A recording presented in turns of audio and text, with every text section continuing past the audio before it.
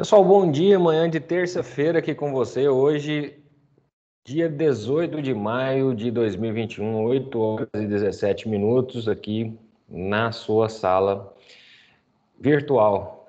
E hoje nós vamos aprender aqui sobre microbiologia clínica prática, aplicada em hematologia e microbiologia clínica. Nas aulas passadas, nós aprendemos sobre identificação de cocos gram-positivos, falamos sobre identificação de gram, Fizemos uma correlação entre proteína C relativa, quadros inflamatórios. Fizemos uma correlação quando falamos de Streptococcus pyogenes e a antistreptolizina O. Depois evoluímos né, para a identificação de cocos gram-positivos catalase positivo, que seria o gênero Staphylo. Por fim, passamos pela identificação de bastonetes gram-negativos, né, a série bioquímica, o que realmente era necessário. E agora nós chegamos, é, por fim, na identificação é, e o antibiograma, certinho? Pessoal, o antibiograma ele faz parte né, da, de um contexto microbiológico aonde nós temos aí uma importância clínica muito grande, não é? é porque é através dele que se extrai, obviamente, conteúdo para que se haja é, diante ou mediante né, a uma infecção bacteriana, ok? Isso tudo é muito importante porque eu sabendo o antibiótico que eu tenho que usar, obviamente eu vou ter né, um respaldo melhor. Então, dentro desta perspectiva, nós abrimos a nossa aula de hoje falando exatamente sobre este assunto, né, onde nós vamos trabalhar é, o antibiograma de uma maneira científica, de uma maneira padronizada, tá bom, pessoal? A maneira a qual vocês né, é, vão não somente compreender, mas também saber liberar esse laudo com segurança dentro dessa perspectiva ou tratativa né, de maneira adequada, ok? Para isso, sejam todos bem-vindos aí nessa manhã de terça-feira, tá? Bora lá então falar sobre o antibiograma. É isso aí, pessoal. Recebendo aqui mais um. Bora lá. Pessoal, dentro dessa perspectiva aí do antibiograma, né? O antibiograma ele tem várias formas de se fazer, né? Automatizado, manual e mesmo de forma manual você pode fazer ele em microdiluição, né? Em caldo, é, de tubos em microdiluição em placas, né? ou dessa forma que Kirby Bauer, dois pesquisadores, criaram, que é a forma de disco difusão. Tá bom? E dentro dessa perspectiva, olha lá, o antibiograma pode ser feito né, tanto em placas de Agar-Millen-Hinton, colocando lá os antibióticos. Sempre nessa plaquinha maior cabe aí 12 antibióticos, como vocês estão vendo aí tá? Ou ele também pode ser feito numa microdiluição em caldo, como vocês estão vendo aqui, né, em tubos, né, ou ainda pode ser feito em placas, tá? O fato, pessoal, é que dentro dessa perspectiva aí, o antibiograma sempre, sempre, sempre, ele é necessário nas identificações né, do é, antibiótico, na identificação né, das resistências bacterianas e do antibiótico necessário né, para que se haja aí, então uma melhor é, uma melhor performance, vamos falar dessa forma, né, do próprio curso da tratativa da infecção microbiana com a melhor resposta, né? Então, dentro dessa perspectiva aí, olha lá, o antibiograma como eu falei, ele pode ser feito em placa de agar Millen-Hinton, é o método que a gente chama de disco de fusão. O que, que é isso? Coloca-se os discos né, de papel de filtro embebido em antibiótico, isso aí já vem pronto, né? E de forma irradiada, esse disco vai promover ali uma difusão do antibiótico no agar formando essa zona de inibição quando a bactéria é sensível à presença do antibiótico, ou seja, ela morre na presença do antibiótico, ou como nesse outro caso aqui, ela não morre, ou seja, ela resiste à presença do antibiótico. Eu também posso fazer esse antibiograma em forma assim, ó, de microdiluição em caldo. Coloca lá o caldo BHI, 1 ml de caldo BHI e faço uma diluição seriada de antibiótico. Né? Então aqui tem a maior concentração, né? Por exemplo, coloco aqui 1 ml de, de caldo BHI, depois venho é, com 1 ml né, de uma concentração de antibióticos, né, por exemplo, 50 microgramas. Quando eu faço a diluição, 1 para 2 vira 25. Pego aqui dessa diluição de 25, passo para cá e diluo mais 1 para 2, ou seja, 1 para 4. Deu 12,5. Passo daqui para cá, 6,2. Passo daqui para cá, 3,1. 1.6, 0.8, 0.4, 0.2. E a gente percebe que essa microdiluição em tubo, né, ela vai decrescendo em valores. E aí eu coloco um controle negativo, ou seja, o mesmo caldo bacteriológico BHI que eu utilizei, para ver se realmente ele está estéreo, né? Eu coloco lá junto na estufa para ver se não vai crescer nada e coloco um controle positivo para ver se realmente ele promove o crescimento. Então aqui eu coloco a bactéria pura, sem antibiótico, e você percebe pela turbação que houve um crescimento, tá bom? Da mesma perspectiva, né, você coloca aí, é, por exemplo, né, um antimicrobiano é, em série diluição seriada, né, e aí você vai perceber né, nessa diluição seriada aí que houve né, um crescimento bacteriano em 0,2 microgramas, houve um crescimento bacteriano em 0,4 microgramas, houve um crescimento bacteriano em 0,8 microgramas. Em 1,6 já não houve crescimento bacteriano. Percebam que o caldo já está límpido, você consegue enxergar do outro lado. Em 0,8 não, está turvo. O que, que isso significa dizer? Significa dizer que esta bactéria, né, presente aqui, nesta microdiluição, para este antibiótico, né, na concentração de 1,6 microgramas, é a concentração inibitória mínima para matar essa bactéria. Ou seja, a bactéria é sensível à presença do antibiótico, mas precisa no mínimo de 1,6 microgramas para que ocorra morte né, da bactéria presente no processo infeccioso. Então, assim, no método de disco difusão, eu só consigo falar se o antimicrobiano ele é sensível ou se o antimicrobiano é resistente. Né? Agora, pelo método de microdiluição, eu consigo falar se é sensível ou se é resistente. Por exemplo, cresceu em todos os tubos. Bom, é resistente, ou seja, resiste até a mais alta concentração do antimicrobiano. Agora, como nesse caso aqui, cresceu nos primeiros, mais 1,6 microgramas já inibiu o crescimento. Eu consigo observar não somente a sensibilidade do, do microorganismo mediante a presença do antimicrobiano, mas também consigo é, dar a concentração inibitória mínima desse antibiótico para eliminar essa bactéria. E no que, que isso é importante? Por exemplo, é, paciente é, nefropata, ou seja, ele está com é, problemas renais.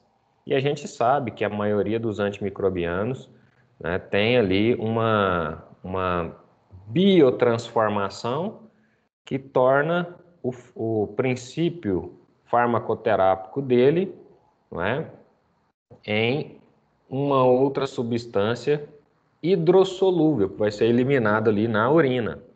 Outros microbianos, antimicrobianos, pela biotransformação que passa no organismo, se torna mais hepatotóxico, porque vão ser eliminados pelas fezes. Mas, mediante isso, tanto hepatotoxicidade quanto nefrotoxicidade, é importante a gente considerar isso é, quando estamos tratando em pacientes é, que tem problemas de insuficiência renal, por exemplo, ou de insuficiência hepática em ambiente hospitalar, que é muito comum, não é? Os pacientes chegam ali numa situação muito comprometida, né? E ali já está na unidade de terapia intensiva ou estão internados em leitos hospitalares já com alguma patologia instalada E se já está internado, já é um paciente mais fragilizado do que aquele que, por exemplo, poderia tratar ambulatorialmente falando, ou tratando em casa. Né? Então, ali a gente utiliza muito em ambiente hospitalar essa concentração inibitória mínima, ou seja, eu vou dar o mínimo de antibiótico necessário para eliminar essa bactéria, para não comprometer ou não sobrecarregar o rim, por exemplo, né? e não comprometer e não sobrecarregar o fígado, no caso de uma hepatotoxicidade ou no caso de uma nefrotoxicidade, que a gente sabe que é presente ali nos fármacos, tá bom? Então, isso daí é importante e a gente sabe né, que é importante, tá bom, pessoal? Então, beleza pura, a gente já concede esse, esse propósito aí, tá? Olha só, continuando aqui então a nossa é, apresentação, sensibilidade antimicrobiana, como eu falei, é, esse, essa série de tubinhos aqui, olha, né? Ela pode ser miniaturizada, aonde eu posso colocar em uma plaquinha, né? Uma plaquinha assim bonitinha, né? Como, por exemplo, uma plaquinha dessa aqui, ó, tá? Ao invés de colocar em vários tubinhos, eu posso miniaturizar esta microdiluição, tá? Uma plaquinha aqui de 96 poços, fazendo maiores diluições e testando mais números de antibiótico, por exemplo. Então, essa plaquinha aqui, por exemplo, ela tem oito pocinhos assim, e 12 pocinhos assim, 96 poços. Aonde cada um desses eu posso testar, por exemplo, 12 antibióticos. Nessa placa aqui de Agar Millen Hinton, naquela placa grande, a gente não pode testar até 12 antibióticos. Olha lá, 1, 2, 3, 4, 5, 6, 7, 8, 9, 10, 11, 12. Eles ficam bem dispostos, né? uma distância acima de 2 centímetros de cada um, né? Tá bem colocadinho aqui. E quando eu vou para o centro, eu também tenho que manter esse, essa distância, tá? Tanto do primeiro raio quanto no raio interno, tá? E aí, obviamente, que eu posso fazer isso em placas, assim, ó. Apresentando aqui 12 antibióticos, por exemplo. Número 1, um, coloco um antibiótico aqui e uma microdiluição diluindo oito vezes. Olha aqui, nessa diluição macro para você acompanhar. Tá? Então, é um antibiótico diluído. 1, 2, 3, 4, 5, 6, 7, 8. Tá vendo? E aqui não é diferente. É o antibiótico. Não é? Por exemplo, esse primeiro antibiótico aqui poderia ser um controle positivo, um, é, um negativo do meio, não é? E aí logo em seguida diluição. Olha, 1, 2, 3, 4, 5, 6, 7, 8. E o próximo antibiótico? 1, 2, 3, 4, 5, 6, 7, 8. E a gente percebe que onde há crescimento bacteriano, olha, vira um pontinho de bactéria lá no fundo, ou seja, a bactéria resiste à presença desse antibiótico a ponto de crescer nessa concentração. Né? Olha aqui, esse, essa aqui cresceu em todos os poços. Né? Essa daqui cresceu né, praticamente em todos também. Da mesma forma aqui, aqui já cresceu né, um pouco menos, e aí eu consigo, dessa forma, soltar a concentração inibitória mínima por antibiótico, desde que eu tenha, obviamente, né? Desde que eu saiba cada pocinho desse qual antibiótico que é e qual a concentração que está presente em cada um deles. E aí, olha, eu posso fazer essa avaliação da sensibilidade dos agentes microbianos por diluição seriada, não é? Aonde, como eu falei para você, Ali a gente acompanhou da diluição 25 para aqui, ó, nesse tubinho, da diluição 25 para 12,5 para trás. Aqui, por exemplo, ele está demonstrando ó, 50, 25, 12,5, 6,2, 3,1, 1,6, 0,8, 0,4, 0,2 microgramas por ml de antibiótico, tá bom? E aí pega o inóculo bacteriano junto com a diluição, tá?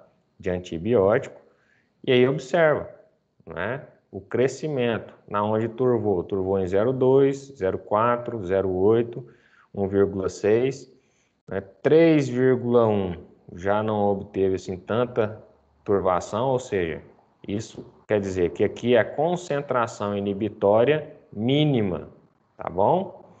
E por aí já vai né, percebendo a sensibilidade bacteriana. Então, pessoal, essa concentração inibitória mínima pode ser feita tanto por microdiluição em tubos, quanto microdiluição em placa, né, de poliestileno ou de é, plástico né, comum, carbono.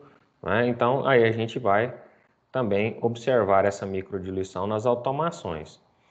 É, o que acontece, essas plaquinhas aqui né, podem ser mais miniatur, de forma mínima, colocada aí então em automações, perdão, né? como essa, por exemplo, do Fênix da Benton Dixon, né? ou o Alcoa da Siemens, ou o Vitec 2 compacto da Biomerrier. E tem outras automações também que trabalham esse tipo de situação, onde fazem tanto o antibiograma quanto a identificação.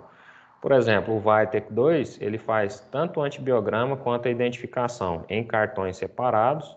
Ele faz antibiograma para gram positivo, né, para gram negativo e antifugigrama também. O Vitec 2 faz isso. E também faz identificação de gram positivos, gram negativos e a identificação de fungos, tá? O Alcoa, né, ele também trabalha esses painéis, tanto para gram positivo quanto para gram negativo, e antibiograma para gram positivo e gram negativo. O Benton Dixon, né, ele também faz identificação de bactérias e fungos, porém ele faz ali é, o antibiograma apenas de gram positivo e gram negativo, tá bom? Então cada um tem os seus benefícios, né? Custo-benefício aí é, depende da negociação de cada laboratório com o representante. Fato é que são situações fantásticas, né? De se trabalhar quando se tem uma rotina muito grande, que não dá para ficar fazendo plaquinha manual, então a gente utiliza a automação. Agora, não justifica você ter uma cultura positiva por dia e querer ter automação no seu laboratório. Vai ficar muito caro e desnecessário. Por isso a gente tem que compreender como que faz o manual não é? E aí, quando a rotina vai aumentando, a gente vai inserindo as automações à medida que necessário. E também tem essa forma de se fazer, né? Que eu acho que gasta muito. Você coloca o agar junto com o antibiótico e coloca a bactéria em contato com o agar. Aí tá vendo? Diluição de 0,25 e aí vai aumentando um pouquinho, você percebe que o crescimento vai diminuindo. E aí eu acho menos sensível, mais trabalhoso, ocupa um volume maior, tá? Mas pode ser feito também em placas, né? É, além dos tubos que a gente viu. Então o tubo é mais prático, a gente prefere né, isso daí em tubos ou em microplacas ou em automação. Certinho? Aqui, por exemplo, é um teste de sensibilidade a mipenem em amostras de pseudomonas aeruginosa pela técnica de agar diluição. Né? Coloca o agar né, em concentrações seriadas e logarítmicas de um antimicrobiano na placa de Petri e observa é, o crescimento a, a, até onde ele persiste e a concentração inibitória mínima, como a gente viu.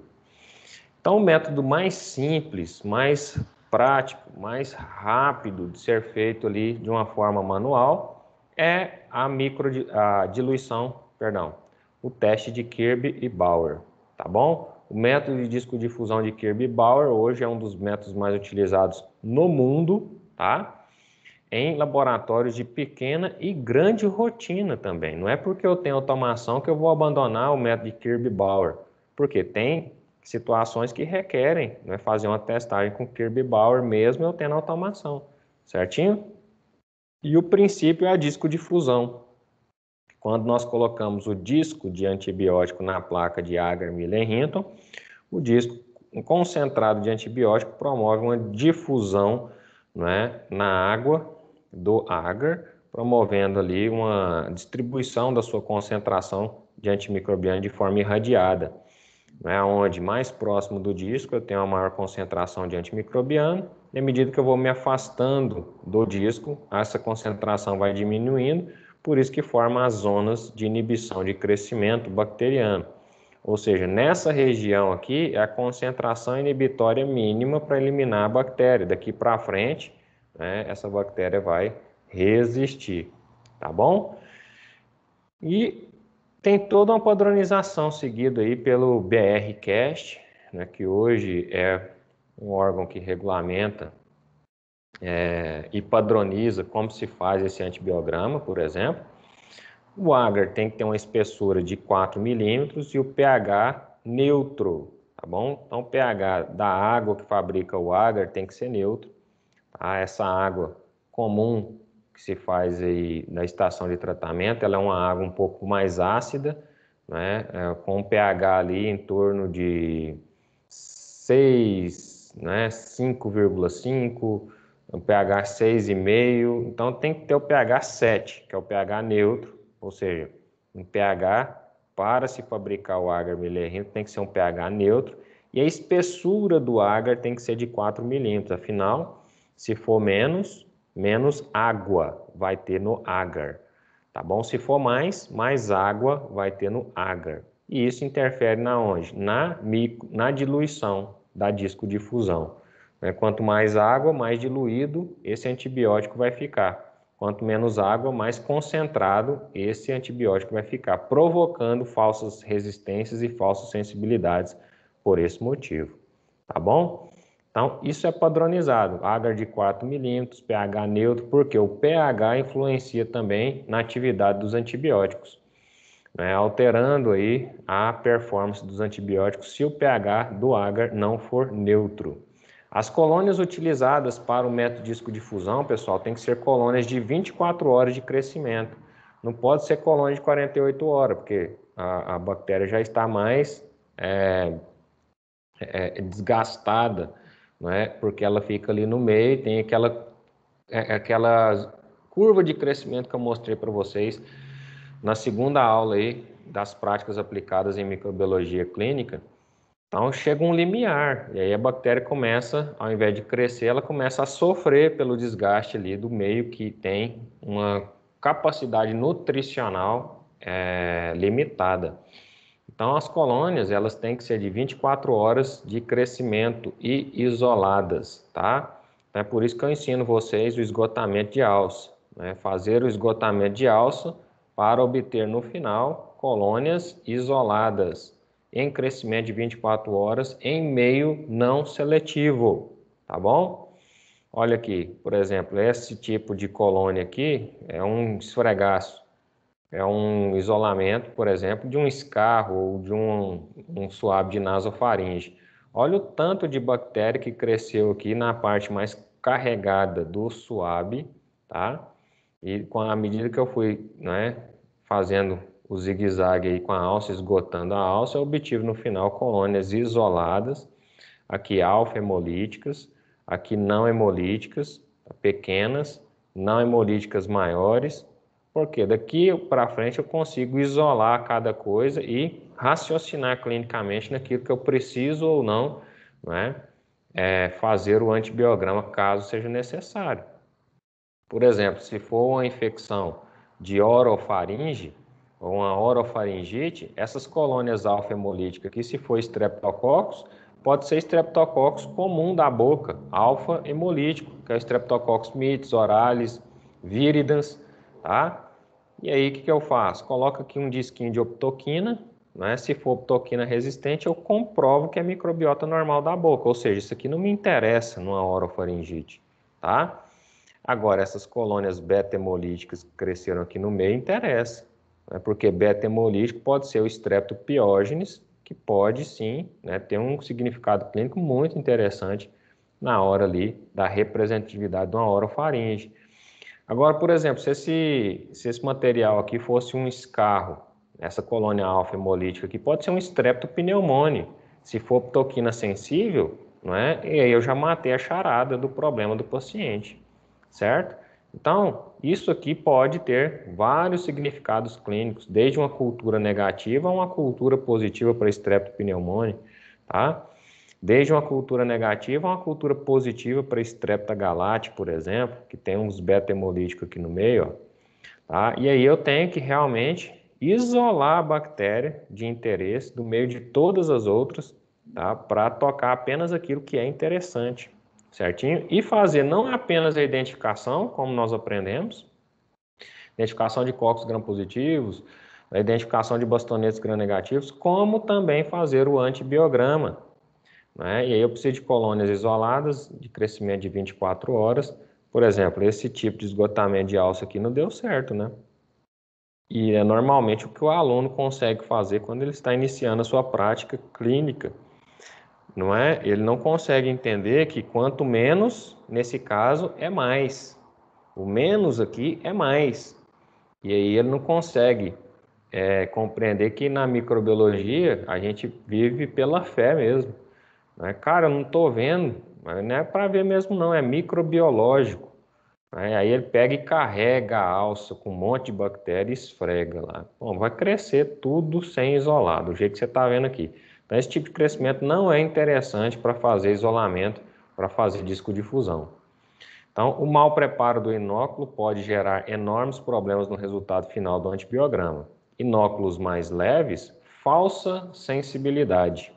Inóculos mais pesados, falsa resistência. Então, para evitar inóculos mais leves ou inóculos mais pesados, a gente utiliza uma escala chamada de escala de McFarland.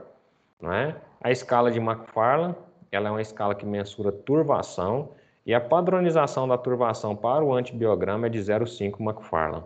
Tá bom? Olha só, na escala de McFarland 0,5 tem essa turvação, 1 McFarland já começa a turvar um pouco mais, 2 McFarland um pouco mais, 3 McFarland, 4 McFarland. Então você percebe à medida que eu vou passando aqui essa escala de McFarland, né, que à medida que eu aumento o número de McFarland, eu aumento a turvação.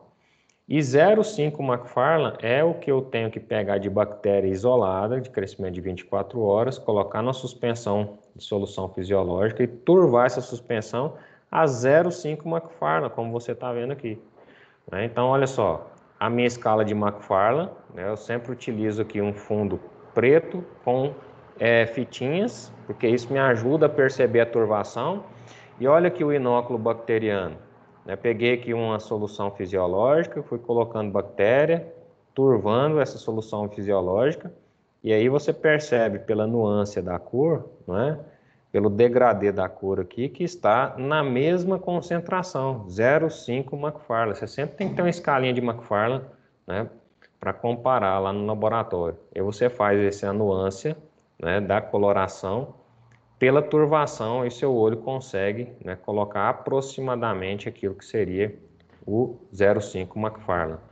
O que não pode, aí a gente que não tem padronização, eles não têm escala de McFarland no laboratório, pega a colônia lá e o olho dele só consegue perceber que está turvo quando o negócio está acima de 4 McFarland, ou 3, ou 2, por exemplo, não é?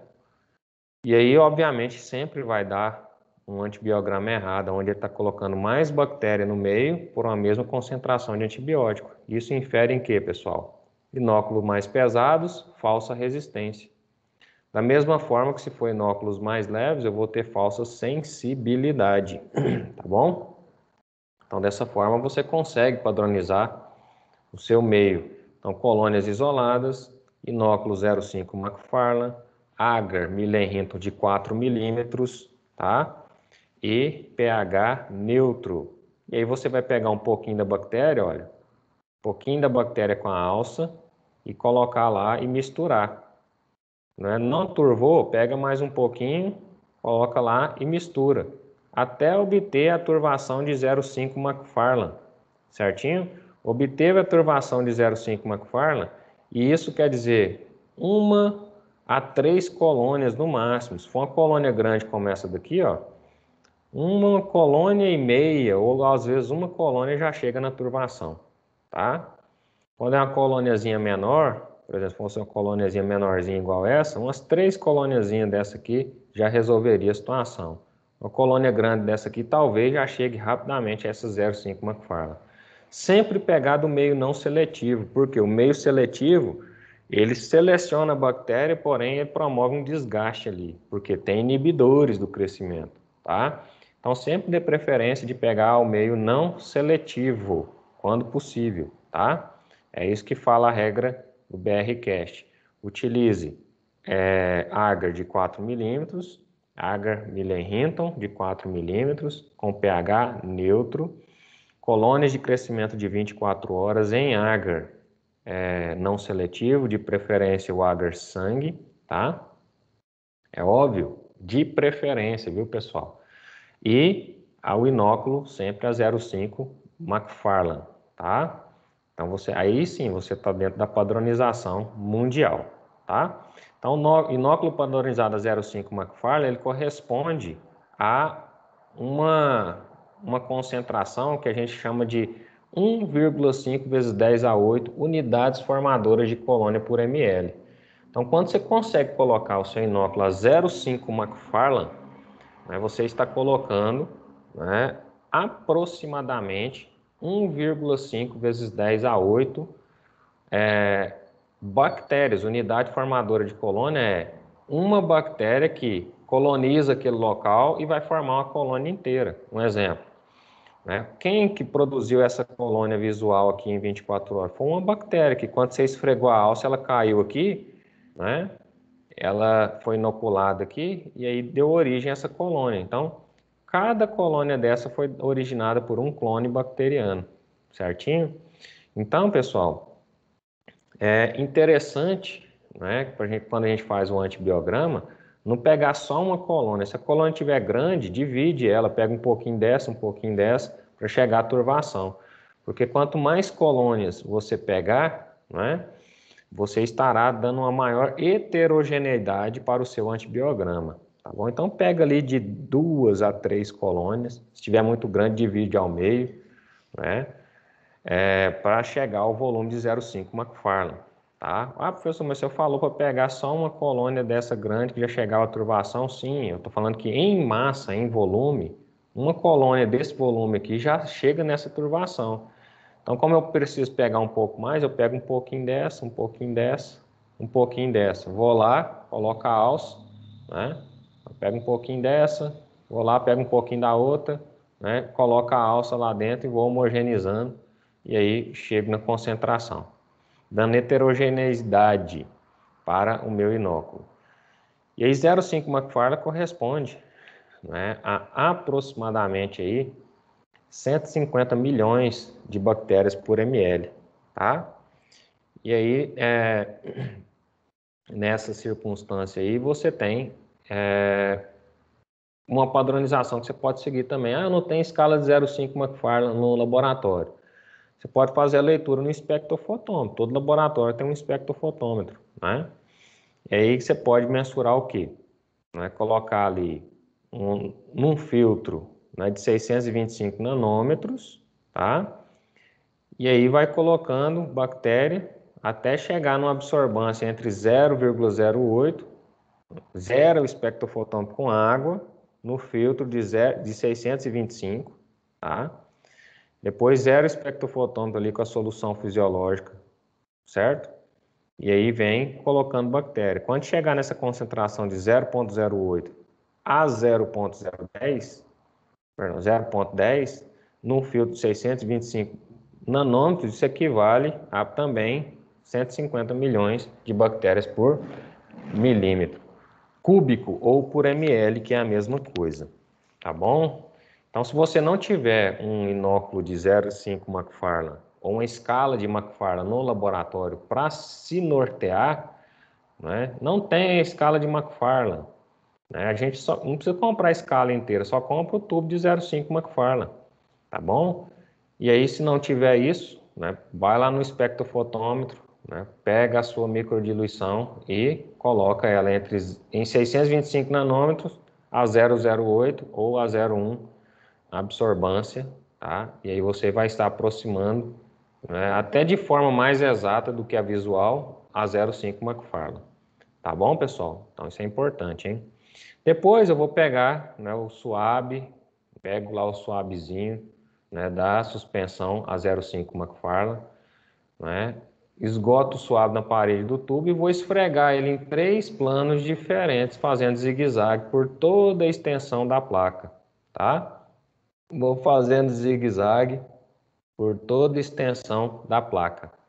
Depois eu venho, né, num outro plano, por toda extensão da placa. E por fim, num terceiro plano, por toda extensão da placa, garantindo que eu estou cobrindo toda a extensão da placa com bactérias, antes de colocar os discos. Tá? De uma forma prática, seria isso daqui, olha. Olha lá. Pego lá o suave, pega a suspensão bacteriana, tá? Deixa em contato com o suave, depois esgoto na parede do tubo. A suspensão já está 0,5 McFarlane e aí vou fazendo zigue-zague, sempre atrás do fogo, porque o fogo é o meu campo estéreo. Olha lá o zigue-zague. Faz o zigue-zague mesmo, né? Feito o zigue-zague, né, você consegue, né, em três planos, viu? Cobrir toda a extensão da placa. Vai fazendo o zigue-zague, vai zigue-zagueando, né, em três planos diferentes. E aí chega no final, você vai arrematar as bordas. Olha lá, arremata as bordas no finalzinho, pronto, inoculou, certinho? Inoculou a bactéria no agar Millenhinton. E agora, o que, que eu tenho que fazer, professor? Né? Simplicidade. O que, que a gente vai fazer agora? Vou pegar aqui o, a continuidade, né? Alguma dúvida até aqui, gente? Vamos para a próxima, então. Aqui, ó. Depois que eu inoculei no agar Millenhinton, dessa forma que você acabou de ver, o que, que eu vou fazer? Eu vou, na parte 2 aqui, colocar os discos de antibiótico. Os discos de antibiótico, eles vêm assim em frasquinhos, liofilizados, contendo a abreviação do nome, por exemplo, isso aqui é a van, né? Van é vancomicina e o 30 significa o quê? 30 microgramas. Então, isso aqui, tudo de van, você vê que, vê que ele vem em frasquinhos, ele tem uma espuminha que separa ele do, do dessecante, ou seja, isso aqui é um gel silica que absorve a umidade para evitar que esses discos fiquem com umidade excessiva, porque afinal de contas eles contêm antibiótico e a umidade degrada esse antibiótico. E a gente tem que congelar eles, né? E o FAD congela, descongela, congela, descongela, vai gerando uma umidade e aí precisa desse gel silica para absorver isso.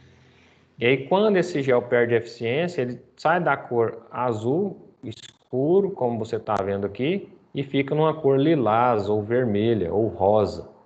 Aí sem tempo, né, esse gel perdeu eficiência. Você pode jogar aquele disquinho fora, tá? Então, um frasquinho desse aqui é baratinho. Né? Você paga aí de 10 a 30 reais, dependendo do antibiótico, para 50 disquinhos de antibiótico. Então é bem econômico, bem barato. Tá? Não vale a pena usar isso aqui vencido e nem fora da padronização. Aí, obviamente, se eu comprar em frasquinhos assim, eu tenho que distribuir ele no meio com auxílio de uma pinça, como você está vendo aqui. Ou então eu posso, ao invés de comprar o frasquinho, eu posso comprar né, o disquinho dentro desses dispensers aqui, ó. É um pouco mais caro, né? Mas vale a pena. Ele tem aqui um indicador de umidade, que quando muda, altera a cor, significa que perdeu a eficiência, tá? E aí você abre ele e tem um dispensador manual, olha. Você encosta o dedo aqui e o antibiótico cai. E aí você coloca ele no meio. E aí tem os dispensadores automáticos. Você coloca esses tubetes de antibiótico no dispensador, tá? E aperta esse dispenser e os antibióticos caem tudo de uma vez em cima do meio, certo? Então, assim, depende de rotina, né? Isso aqui custa em média de uns 6 a 8 mil reais, tá? Então, assim, mas se eu tenho uma rotina manual que vai crescendo, mas que ainda não justifica eu colocar automação, eu posso pelo menos colocar um dispenser automatizado desse aqui, olha. Afinal de contas, o tempo que eu vou economizar para o analisador, eu vou evitar uma nova contratação, por exemplo, não é? E às vezes isso pesa. Né? Então, assim, eu libero mais tempo para o cara pensar, é para fazer a coisa bem feita, certo? Ao invés de contratar mais uma pessoa né, passando aí pela burocracia do, das leis trabalhistas. Então, isso aí tudo vale a pena a gente investir. O laboratório está crescendo, né? É, não dá para fazer mais o um, um manualzinho, coloca pelo menos essa semi-automação aqui, ó. E aí, por fim, chegou num volume insustentável até para a semi-automação e automatiza. Né? Então, a automação ela não veio para facilitar né, um laboratório que não tem rotina. Ela veio para facilitar a vida de grandes laboratórios que têm uma rotina extensa. Porque às vezes o aluno sai da faculdade e fala assim: ah, eu só quero trabalhar com automação. Não, meu filho. Você vai ter que produzir, você vai ter que crescer junto com o laboratório. Né? E se você fizer a coisa bem certa, o laboratório cresce e com certeza você vai ter um laboratório grande e automatizado para você trabalhar. Mas sempre começa do básico. Os discos, você tem que tomar alguns cuidados com ele. Né? Por exemplo, manter os discos sempre a temperatura de refrigeração de 4 a 8 graus Celsius, ou se for beta-lactâmico, por exemplo, é, você tem que manter congelado a menos 14 graus Celsius. Então, os discos com drogas de beta-lactâmicos devem ser congelados e os de uso né, semanal devem ser refrigerados e utilizados até 7 dias. Então, separa um que você usa semanalmente. Como que você faz isso? Levanta uma estatística do laboratório. Quantas culturas que eu faço por semana? 10. Então, você vai fazer de 10 cultura, é, quantos antibiogramas você faz por semana? Ah, eu faço 10. Então, quantos é, disquinhos que você vai gastar? Você coloca aí de 10 a 15, por exemplo. Né? Pega um frasquinho de 10 a 15, coloca lá para você utilizar durante a semana. Acabou a semana, joga aquilo ali fora. Né? O resto você mantém congelado, porque você ficar congela, descongela, congela, descongela, congela, descongela, uma hora ele perde estabilidade, você perde o frasco inteiro. Né? Então, se eu faço 10 por semana e ali dentro tem 50, aquele frasquinho vai durar em torno ali de um mês. Né? É, 50, 10 por semana dá 40 disquinhos daquele. Aí você coloca 10 de segurança, não é? E aí você vai colocando ali por semana 12 frasquinhos, 12 antibióticos em frasquinho separado para ficar refrigerado, o resto você mantém congelado. E aí retirar do congelador uma a duas horas antes da utilização. Por quê? Quando você retira do congelador, fica até aquela névoa branca em volta. Vai condensar aquele vapor, né? e se você abrir antes disso, vai entrar vapor úmido lá dentro e vai perder a eficácia do antibiótico. E aí os discos que não serão utilizados devem ser mantidos refrigerados ou congelados. Somente deverão ser utilizados discos dentro do prazo de validade. Isso aqui não precisa nem falar, né? Mas a gente fala porque é costume, tá bom?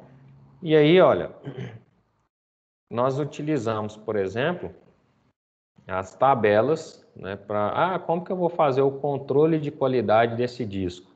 Nós utilizamos cepas, cepas controles, né? Cepa controle, ela vem, né, ela é vendida pelo próprio fornecedor né, dos discos de antibiótico, por exemplo. Essa Escherichia coli, cepa 25922. Né? Se eu pegar essa cepa, reconstituir ela, fizer o antibiograma e colocar esses discos de antibiótico que você está vendo aqui, é, o halo de inibição tem que dar o ácido nalidíxico entre 22 a 28. Se der abaixo de 22 ou acima de 28, esse disco não está padronizado, ou seu agar não está padronizado. Aí o que, que, você tem que fazer? Descobrir se é o disco. Ah, não, o agar está de 4 milímetros. Eu nem faço isso aqui no laboratório, eu compro pronto. Beleza, então não está o problema? No disco de antibiótico. Pode jogar fora e colocar outro. Aquilo ali já perdeu a eficácia. Então, se você separa semanalmente os discos para fazer o seu antibiograma, então faça o controle semanal dos discos. Eu separei aqui o, o, os discos para utilizar durante a semana. eu vou fazer um controle ali, né, no meio da semana, por exemplo, né? Então, acabei de tirar do refrigerador, semana passada o controle deu certinho, ou seja, esse disco está funcionando, né? Essa semana agora eu vou fazer no meio da semana para ver se a estabilidade está realmente mantendo, né, o controle de temperatura.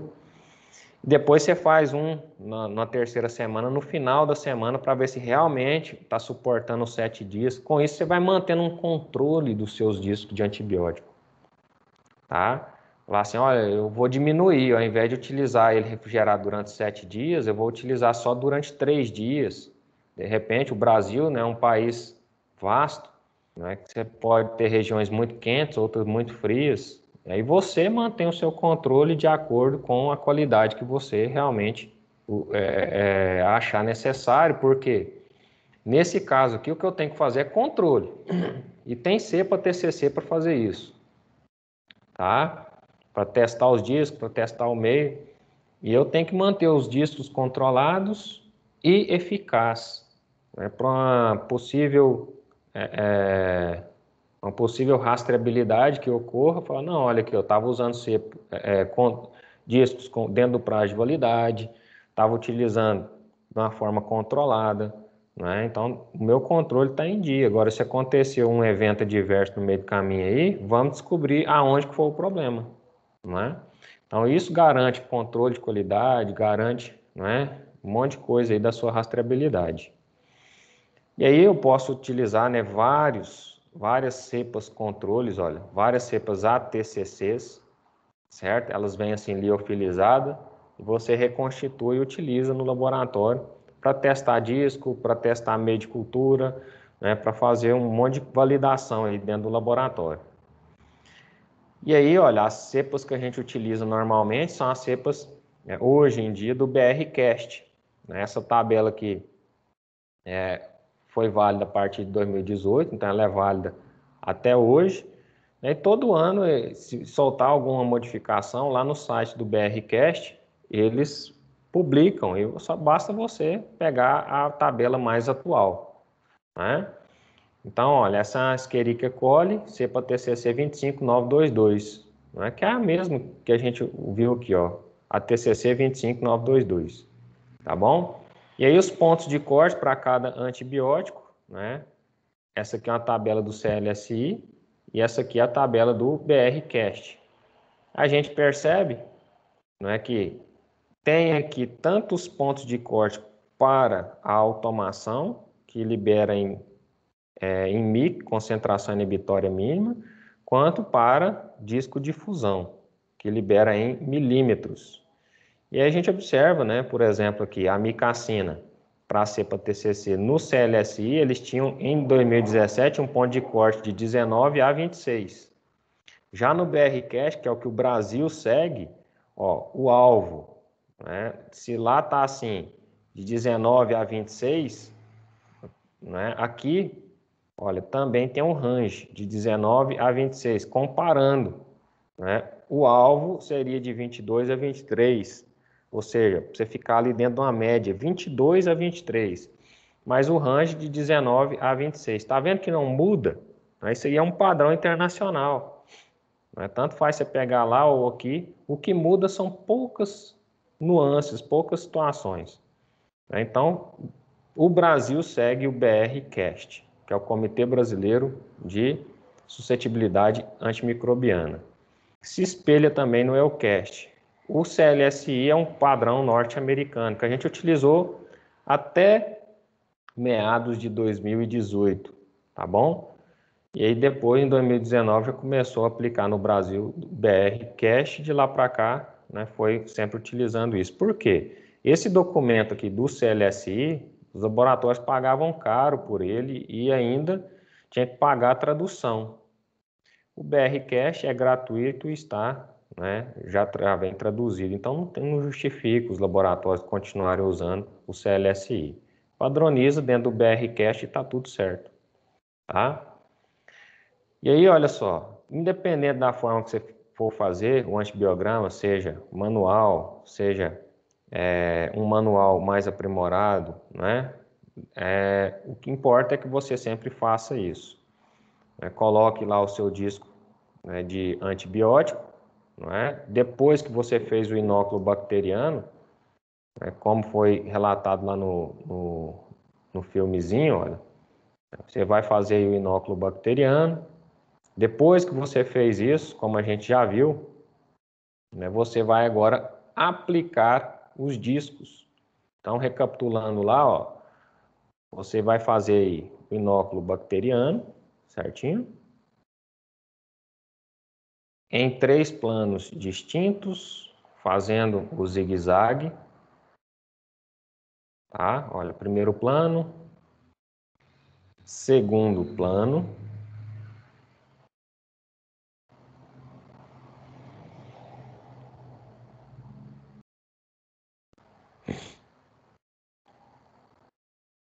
e terceiro plano. No final disso tudo, arremata as bordas. E aí passa para a próxima etapa. Qual que é a próxima etapa? Agora eu vou colocar disquinhos de antibiótico, tá? Então, a gente viu como que a gente pode controlar esses discos, né? Congelado, alguns refrigerados, os beta-lactâmicos eles têm que estar congelados sempre, tá bom? Os de uso semanal a gente sempre mantém refrigerado, não está utilizando, mantém refrigerado, certo? E utiliza cepa ATCC controle né, para testagem dos discos. E aí para colocar os discos, olha lá, a gente né? Sempre mantém eles organizados, né? dentro do congelador, olha lá, certinho?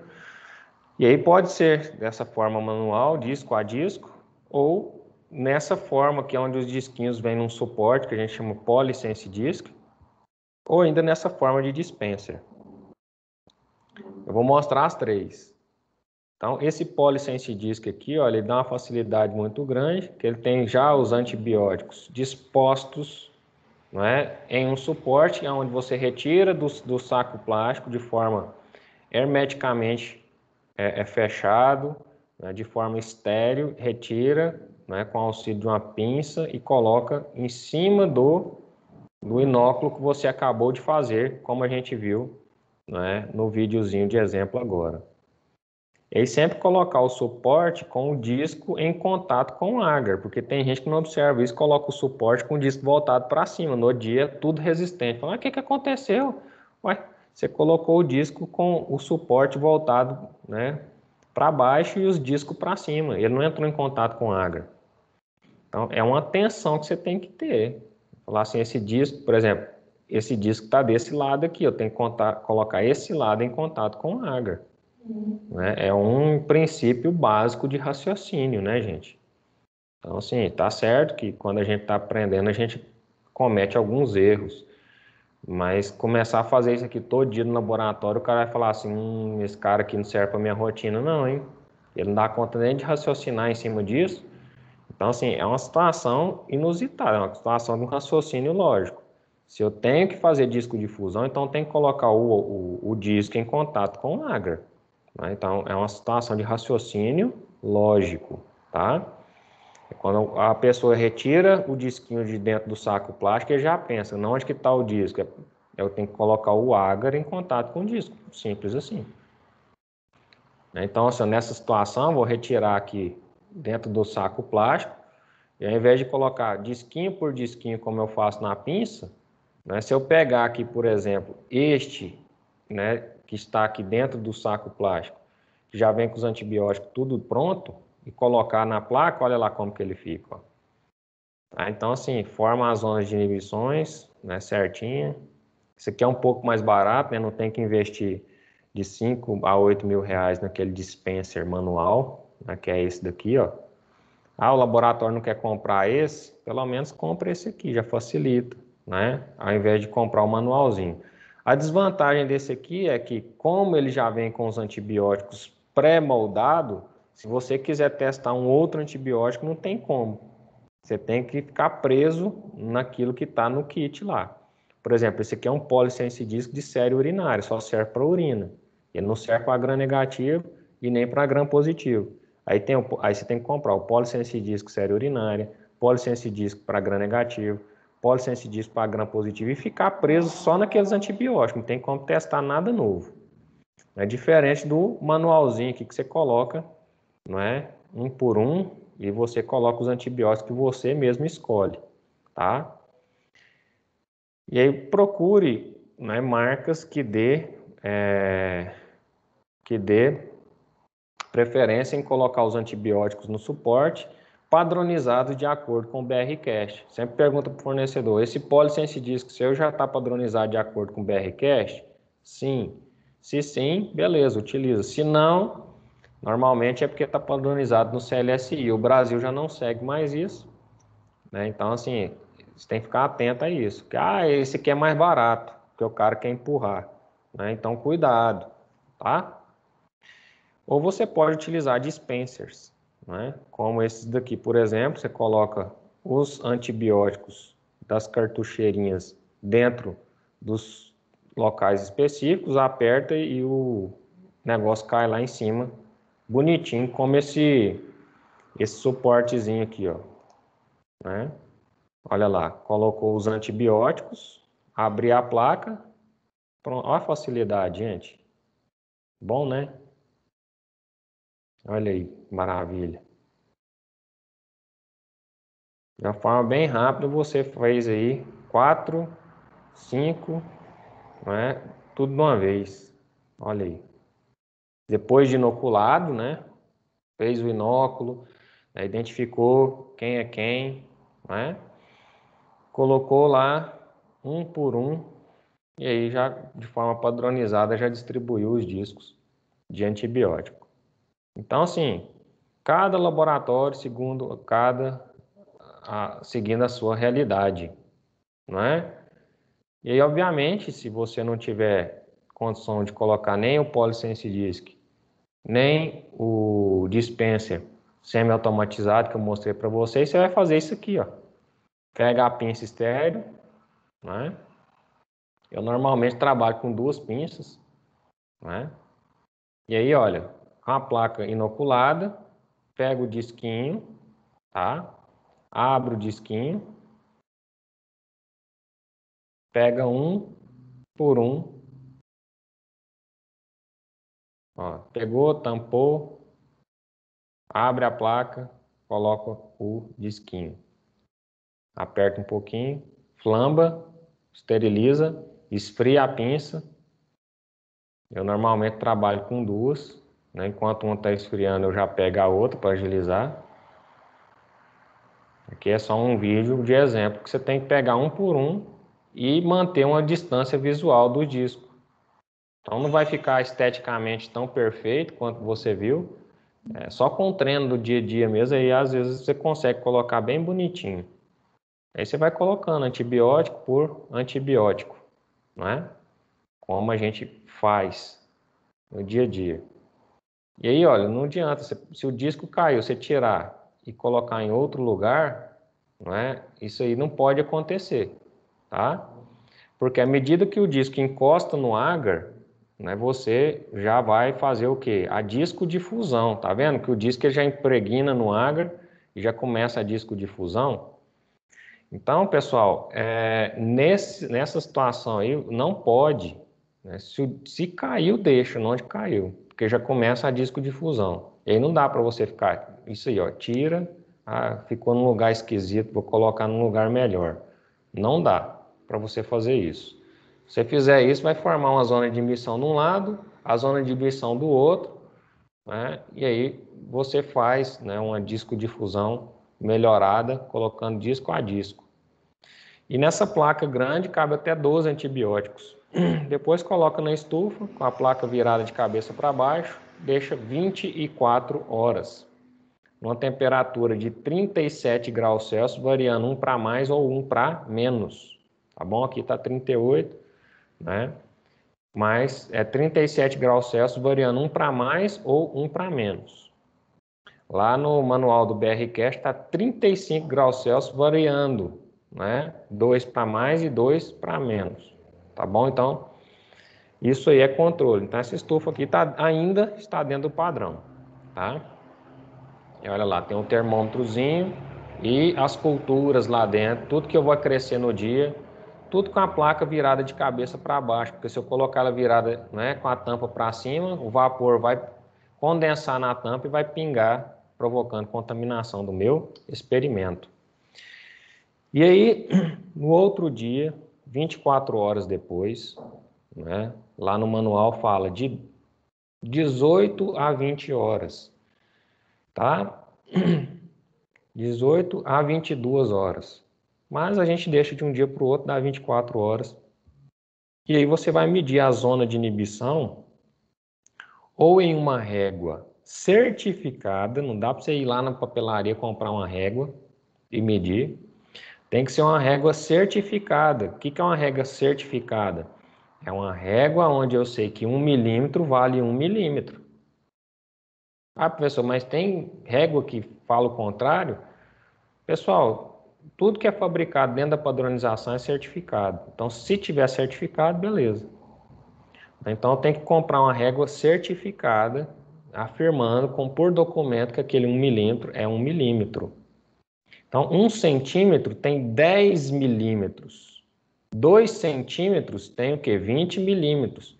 Então, esse antibiótico aqui, ó, oxacilina, 1 micrograma, a zona de inibição aqui deu 20 milímetros, ou seja, 2 centímetros, 20 milímetros. Esse outro aqui, ó, a vancomicina, eu posso mensurar também num paquímetro, como você está vendo aqui. Tá? Tanto num paquímetro quanto numa régua certificada. Vai medir o halo de inibição na régua ou no paquímetro. Né? Então, como que eu vou fazer isso? Está padronizado. Por exemplo, aqui, esse antibiótico ampicilina, 10 microgramas, né, eu vou traçar a zona de inibição, certo?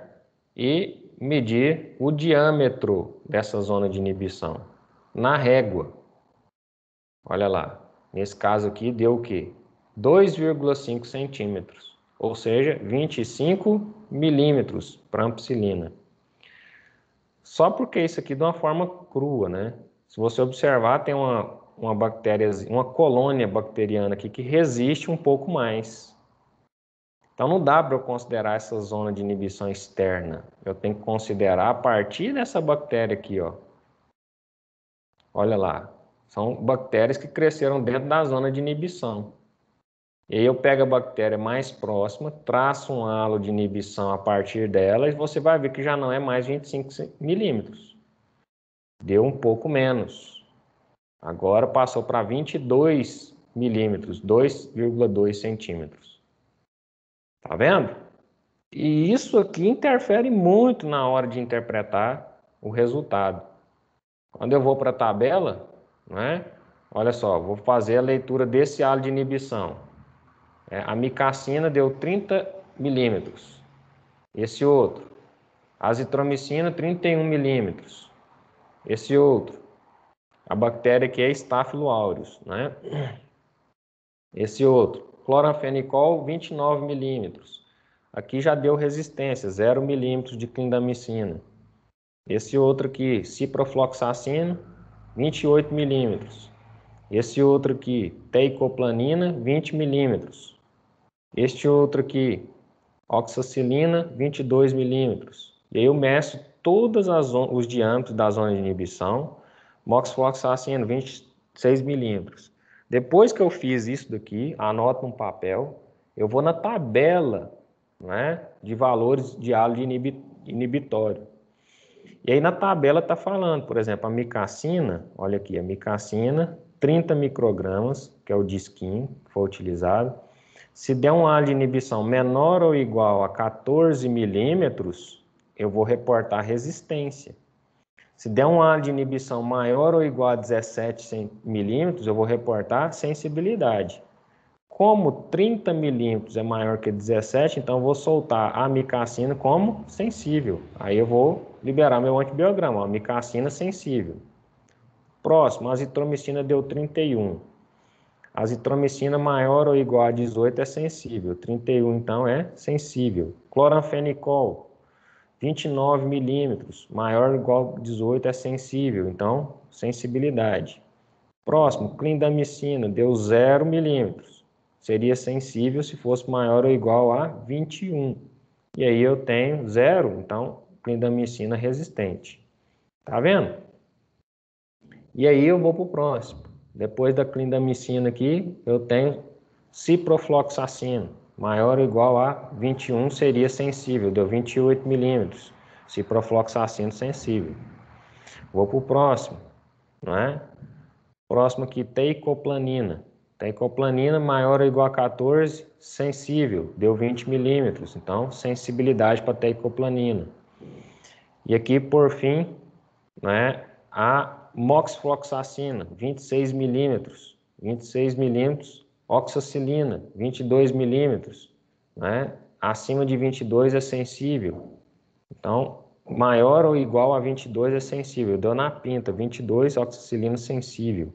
Imoxacilina, 26 milímetros, acima de 24 é sensibilidade, então sensível. E eu vou liberando sensibilidade ou resistência de acordo com os milímetros em consonância com a tabela de ponto de corte do BR Cast. Tá bom? Do BR Cast. E aí tem algumas observações. Por exemplo, na oxacilina. Para Staphylococcus aureus e Staphylococcus lugdunensis, não reportar sensibilidade para oxacilina por disco de fusão. Para isso, utilizar o disco de cefoxitina como substituto, tá? E aí, olha, para oxacilina, nesse caso aqui, né, utilizou o disco de cefoxitina 30 microgramas. E a partir de cefoxitina 30 microgramas, liberou-se a oxacilina. Então, isso aqui né, é um disco de cefoxitina, de 30 microgramas, para liberar a oxacilina. Por quê? No Brasil, usa oxacilina, tá? Então, a gente reporta como está mandando aqui no manual. Não reportar sensibilidade proxacina por disco de fusão. Porque vai dar ruim. Então, para isso, utilizar o disco de cefoxitina como substituto. Aí fala, cefoxitina é utilizada como substituto para oxacilina. Reportar sensibilidade ou resistência da oxacilina baseada no disco da cefoxitina. Você vai desobedecer um documento desse, gente? Não. Você está falando que você não pode testar disco de oxacilina para Staphylo aureus e Staphylo lugdunensis, para que, que você vai fazer um, um, um desfavor desse? Testa o que ele está mandando, disco de cefoxitina, e libera oxacilina com base no que está no disco. Clindamicina. Induzir resistência de clindamicina é realizado, realizando o teste. Você coloca um disco de clindamicina ao lado de um disco de eritromicina e vai formar o que chamamos de D-teste. Aonde você sabe disso, professor? Está no manual, está escrito lá. Eu só não vou ficar falando muito para não confundir sua cabeça. Aqui eu só quero que você entenda como que você faz o antibiograma. O antibiograma, então, tem que ser padronizado em agar Miller-Hinton, de 4 milímetros de diâmetro, não é? é? com pH neutro, utilizando discos dentro do prazo de validade, se for beta-lactâmico, que seria as penicilinas, cefalosporinas, é, carbapenêmicos, você tem que manter congelado e utilizar apenas o que você vai usar durante a semana e a prazo de validade desse é de 7 dias, mantido de 2, de 4 a 8 graus Celsius. Antes de utilizar, guardar de 1 a 2 horas até pegar a temperatura ambiente, para depois utilizar. Fazer o inóculo bacteriano a 0,5 McFarlane.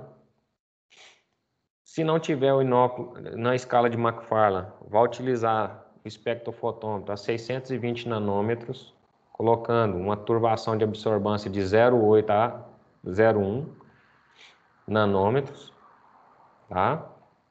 E isso equivale a 150 milhões de bactérias por milímetro cúbico ou 1,5 vezes 10 a 8 UFC por ml. Tá? E aí você vai, por fim, inocular isso na placa de agar Miller-Hinton, padronizado, 4 milímetros de agar, pH neutro, em três planos distintos e distribuir os discos, mantendo a distância mínima de 2 centímetros, pelo menos, de um para o outro, para que uma zona de inibição não interfira na outra. E, não é, no outro dia, fazer a leitura dos halos de inibição em milímetros e comparar com a tabela do BRCast, obedecendo os critérios reportados pela tabela. E existe tabela, por exemplo, isso aqui é uma tabela de Staphylo SP, porque eu estou mensurando Staphylo aureus. Está aqui, ó, Staphylo aureus. Então, vou utilizar a tabela para Staphylo. Se fosse para estrepto, tabela para estrepto. Se fosse enterobactéria, tabela específica para enterobactéria. Cada grupo bacteriano tem sua tabela específica, você tem que seguir ela. E seguir as observações. Se fosse estáfilo saprofítico, essa observação né, não teria tanta importância assim. Mas aqui ele está falando oxacilina para estáfilo aureus e estáfilo dunensis. Pega essa observação. Os demais não têm importância. E aí o deteste, que é aquilo que eu falei, pegar a clindamicina e colocar do lado de um disco de eritromicina. Se formar né, a eritromicina resistente, se for eritromicina sensível e clindamicina sensível, não tem problema nenhum. Mas se for eritromicina resistente, clindamicina sensível e formar esse antagonismo aqui, olha, formando a letra D, é o que nós chamamos de D-teste. Aí, este isolado bacteriano, ele apresenta uma resistência. Ou seja, os médicos na prática clínica, eles costumam muito utilizar beta-lactâmico associado com clindamicina, né, para melhorar ali a performance do antibiótico. Nesse caso, para essa bactéria, não vai adiantar porque deu deteste positivo. Você está percebendo claramente o antagonismo entre essas duas drogas. Ó. Aonde a clindamicina difundiu, que misturou com a eritromicina, a clindamicina perdeu a eficácia a ponto de formar um achatamento da curva da, do alho de inibição. E aí também em disco de fusão a gente pode testar resistências bacterianas. Né? Por exemplo, aqui colocou um disco de amoxicilina aproximado 2 centímetros do disco de ceftazidima e do disco de azitrionam. E aí formou um sinergismo, olha, amoxicilina com clavulanato, né, junto com a ceftazidima, formou essa zona fantasma, ou seja, esse antibiótico interagiu com esse e aumentou a potência do antibiótico fazendo essa zona fantasma aqui de inibição. Isso aqui é sinergismo. Significa dizer que essa bactéria aqui produz uma enzima chamada de ESBL, ou seja, é uma enzima que quebra o anel beta-lactâmico. Não adianta. Para essa bactéria aqui, ainda que os beta-lactâmicos derem sensíveis, eu não posso utilizar beta-lactâmico para ela porque deu sensível in vitro. Se eu usar ao vivo, vai dar ruim. E aí eu consigo prever essas, essas resistências bacterianas fazendo esses testes aqui, olha, de disco aproximação. Para gram positivo, eu utilizo um disco de eritromicina junto com clindamicina. O próprio disco de fusão eu posso fazer isso. Só colocar a eritromicina do lado da clindamicina, se formar a letra D, reportar Deteste positivo. Não pode usar associação clindamicina com beta-lactâmico. E para gram negativos, no caso aqui, uma Klebsiella pneumoniae, não é? colocar amoxicilina com clavulanato ao lado de ceftazidima ou ao lado de azitrionam. Formou a zona fantasma, essa bactéria é produtora de SBL. Por esse motivo, desaconselhamos o uso de beta-lactâmicos para tratativa deste isolado clínico, ainda que seja sensível in vitro. Aí o médico vai olhar lá, oh, eu tenho um beta-lactâmico sensível, mas essa bactéria é produtora de SBL, eu não vou utilizar. Aí ele utiliza outra coisa, né? vai utilizar outro antibiótico para não ter problema de recidiva da doença. Já viu aquele negócio? Ah, eu fui no, no laboratório, deu tudo sensível, eu tomei um antibiótico, mas eu continuo né, tendo recidiva da doença. É porque o laboratório não observa esses critérios de resistência bacteriana. Tá bom? E aí tem aquele outro caso também, né? Aonde forma-se a zona de inibição e dentro da zona de inibição, escancaradamente, cresce algumas cepas bacterianas, como você está vendo aqui, ó. Isso aqui significa o quê? Esse antibiótico, gentamicina, ele mata a maioria das bactérias, mas algumas cepas resistem. Se você tomar esse antibiótico, vai dar problema. Tá bom? Então não pode reportar sensibilidade nesse caso aqui, tem que reportar resistência.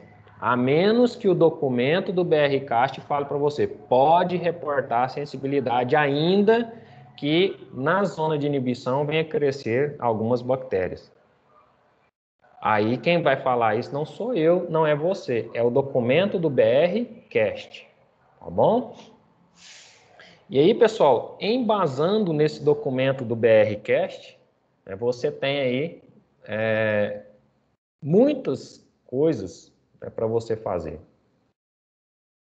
Né? Então, dependendo aí daquilo que você, da tratativa que você der, né, você tem muitas coisas para é, trabalhar. Basta ler ali dentro do BRCast, ler o documento, né, fazer conforme manda. Na aula de hoje, então, você aprendeu a ler o antibiograma e a interpretar o antibiograma de uma forma profissional. Fala sério, né? você nunca tinha visto nessa perspectiva, tá? E existem muito mais coisas, pessoal, além disso tá bom? Então, assim, para a aula de hoje, é, você aprendeu na teoria, de uma forma bem profissional, como fazer a leitura né, do antibiograma de uma forma padronizada dentro do BRCast, certinho? E aí, onde que eu encontro esse documento, professor? É simples. Simplicidade na vida começa com Google. É ou não é? Então você vai fazer o quê? Olha aqui. Vai lá no Google. Vou abrir aqui a minha área de trabalho para você observar junto comigo.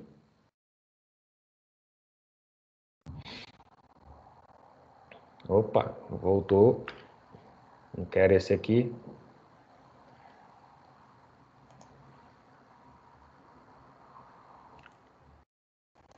Pera aí, gente.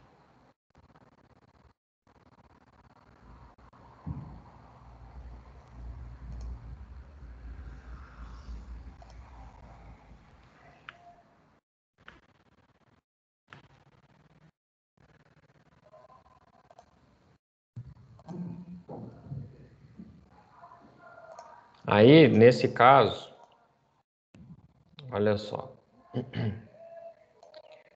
Eu vou compartilhar aqui minha área de trabalho só para você ver né, como que eu faço para pegar essa tabela. É simples. Eu venho aqui, olha, nesse site maravilhoso que você conhece muito bem. Acho que é o site mais conhecido do mundo.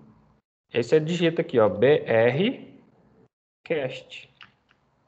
Simples. BRCast. Só isso. Aí tá aqui, ó, os documentos do BRCast, tem aulas, tá? É, BRCast versão veterinária. Vamos entrar lá no site BRCast para você ver como é que é. Gratuito, simples. Aí entrou aqui no site do BRCast, Brazilian Committee on Antimicrobial Susceptibility Testing, tá? E aí tem a versão veterinária, tem aulas, tem documentos, tá? Tem links, eventos, contatos. É brasileiro. E aí também disponibilizamos um novo documento. Né? Esse aqui saiu em março de 2021, certo? Então, guia de leitura de disco de fusão. Se você tem algum, alguma, alguma dificuldade, tá aqui o guia de leitura de disco de fusão, que é tudo que eu falei nessa aula aqui para você. E mais um pouquinho, tá bom? Aí se você clicar aqui, ó, no guia de leitura de disco de fusão, tá vendo? É um documentozinho que você vai baixar no seu computador ou no seu celular. É um documento PDF. Vou abrir ele aqui ao vivo para você. Olha lá. Então, esse guia está disponível, tá? Gratuitamente para você. E aí, nesse guia vai tratar é o método de de fusão baseado no EUCAST. Foi liberado em janeiro desse ano, tá? A válido a partir de 3 de 2021.